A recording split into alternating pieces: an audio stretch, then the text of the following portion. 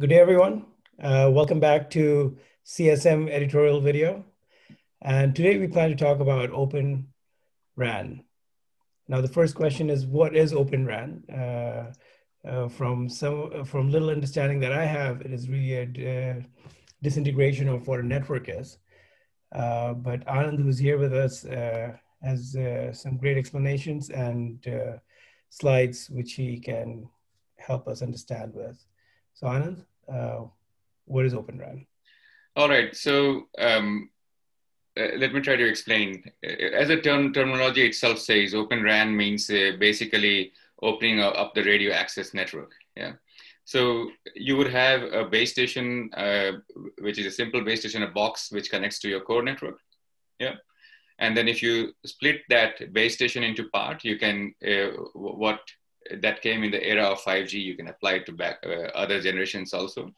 You can split it in two or three parts actually. It's uh, the remote unit that's where uh, to which you can uh, connect the antenna, and then you have the distributed unit and the central unit. Okay, and uh, so these are three parts. Okay, and the central unit itself, then you can further split into for user user plane part and control plane part. Okay, so this is the open RAN concept. And then of course you can virtualize them. Yeah. Uh, you can put on uh, any kind of uh, virtual machines. You can, you know, you can run on network function virtualization as it is called, or uh, you can do the Kubernetes, or you can go to serverless, whatever you do. Um, so then you're talking about the virtual RAN part, yeah, open vRAN uh, that way. Yeah. Uh, so that is a high level of the split, what you were talking about. And then you can perform some controls and stuff like that because now things are virtualized and are very modular. Yeah, that's a um, that's a simple explanation of the, what's happening today with open and virtual RAN.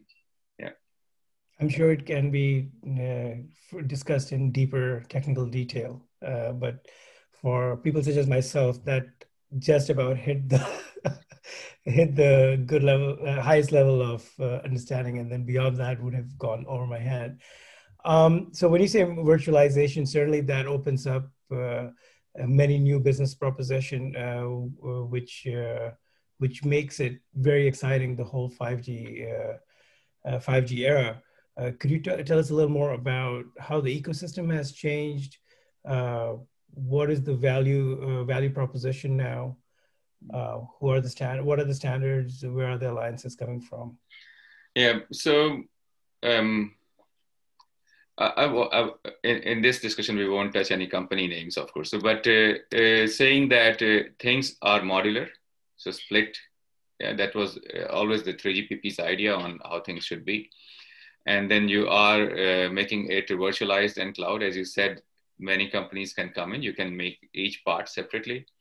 And therefore, operators have an opportunity to, uh, anyone who's operating, be it a private network or, or a network of a mobile operator, uh, they can bring different parts of, uh, of the software from different vendors, put them together, yeah, and then have a, a virtual network. It the whole 5G is, concept is that way. Yeah, so that's a big change. That means uh, that could mean that uh, given company that's running the network, the operator, and uh, will have to manage this whole thing, yeah, whole network with all the parties and how they're deployed and stuff like that, and of course operations, maintenance, everything. Yeah. In terms of uh, uh, industry bodies or uh, specifications body, you want to say you, you have 3GPP. That's where everything started. That's where the whole specification of 5G came. The split also came from there then you have uh, the ORAN, yeah, the, uh, where they are defining in more detail how the split should be, the product, uh, the interfaces and stuff like that, details of those.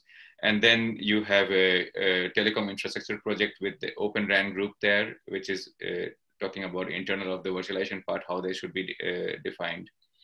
And, and, then you have a body called ONF with the SD-RAN activity as well, uh, which are working on what kind of what kind of services on top and stuff like that can be uh, provisioned. Yeah, that's keeping at the high level how uh, the market with the operators and the vendors can be, and how what are the different industry and uh, standard bodies and stuff like that.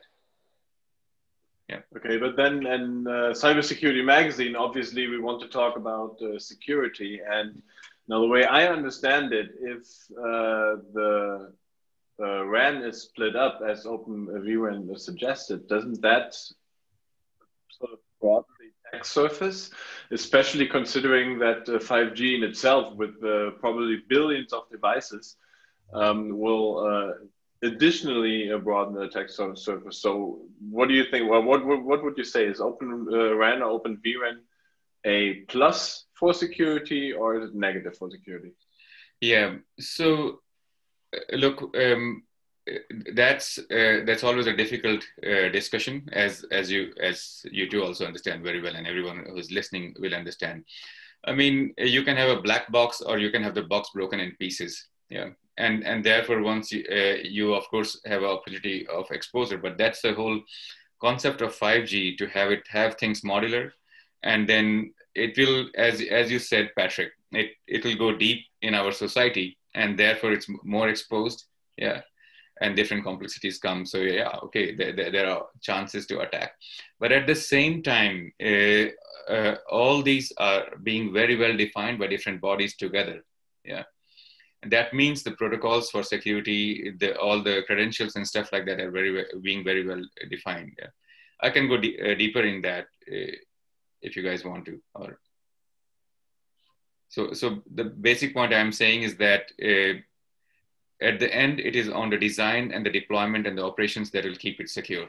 Yeah, uh, be it uh, uh, split the way it is now and uh, defined by 3GPP and then other bodies as Open vRAN or be it just a one black box saying, hey, this is RAN or, or, or the base station. Yeah, so I guess that's something which we uh, see in many areas uh, uh, of, uh, well, let's call it computing. you know, once you start, you, you have a, a fragmented market with no standard established, but uh, I think we can see uh, from from my knowledge at least uh, that with standards being established, things tend to get more secure rather than less secure. So I'm, I expect that this is something we will also see in 5G.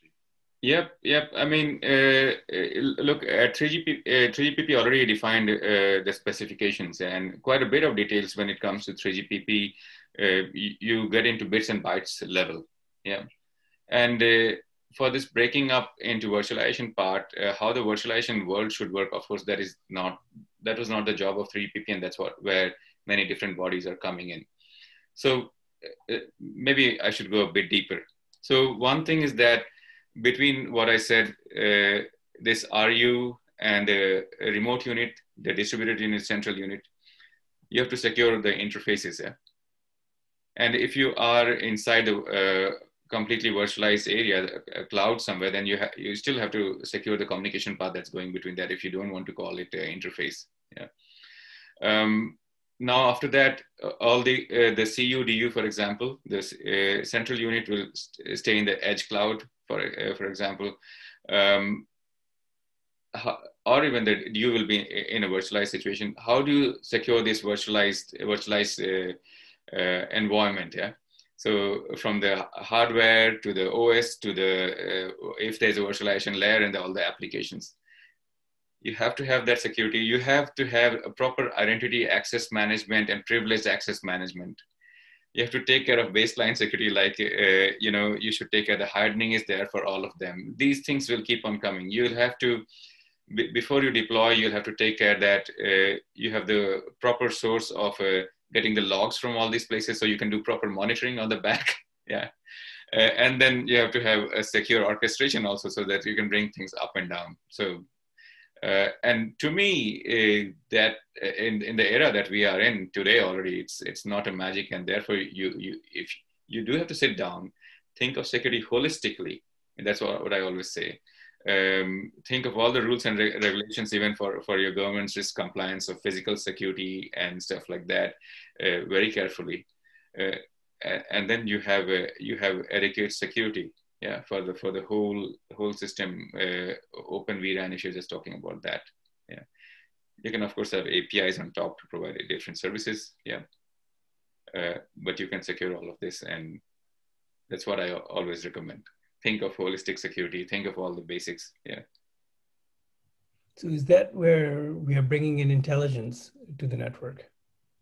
Uh, intelligence to the network uh, is, of course, this is the radio access network that's running, and then you have uh, uh, you can have different applications on top because you're also collecting a lot of data. Then you can provide some kind of uh, intelligence on top. So that's what all these different bodies are talked about. They're also talking about a control part on top of real-time, non-real-time services and how to uh, change things and modify things.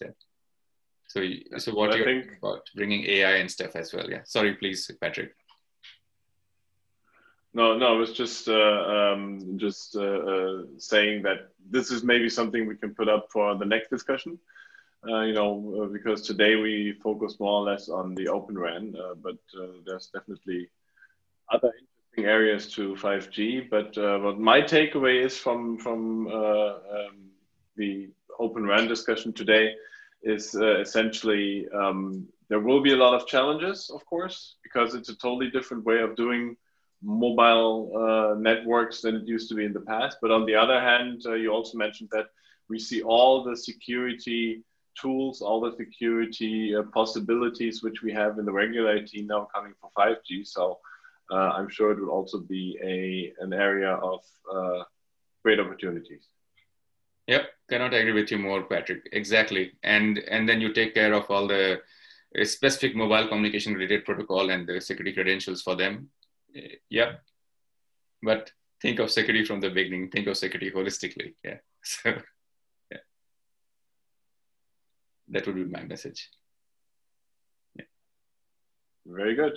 I think uh, that's also some very good closing words. So thank you anand. Thank you Rajeev. And uh, yeah we'll hope to see all of you the next editorial podcast. Thanks. Bye bye thanks guys. Bye